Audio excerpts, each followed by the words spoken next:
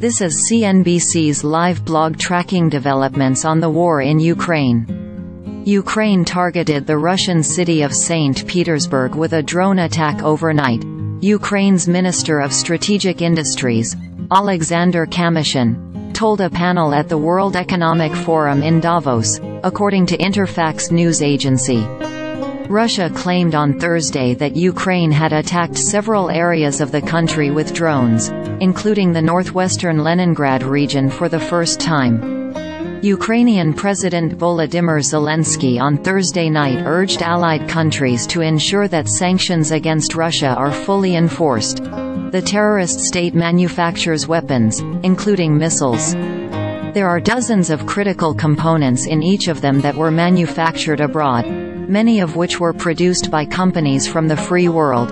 He said in a post on X, Blocking sanctions evasion loopholes means literally blocking terror. I am grateful to all of our partners who understand this, as well as everyone around the world who supports our relevant efforts. Moscow on Thursday rejected U.S.-Russian arms control negotiations owing to U.S. support for Ukraine, which Washington suggested cast doubt on the potential for a new treaty limiting the two adversaries' strategic nuclear arsenals. Russian Foreign Minister Sergei Lavrov told a news conference that the U.S. had proposed separating the issues of Ukraine and the strategic stability conversation around arms control but that Russia considered the West's backing of Ukraine as a hybrid war against Moscow, according to Reuters. Ukrainian President Volodymyr Zelensky on Thursday night urged allied countries to ensure that sanctions against Russia are fully enforced.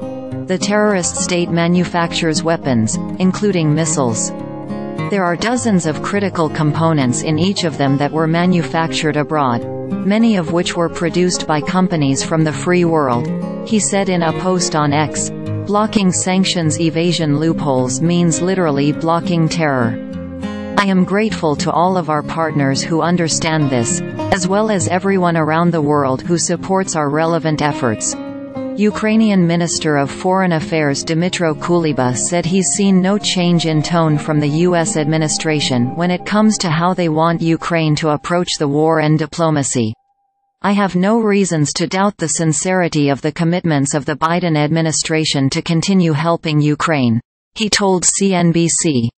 Nor do I have reasons to believe that the Republican Party as a whole does not realize how fundamental it is to defeat Russia in Ukraine and not to allow Russia to continue destroying the world order built by America, he said. I mean let's be honest. The world we live in was built under American leadership. The U.S. administration has recently stepped up the pressure on Congress to provide billions more in aid to Kyiv in its war with Russia.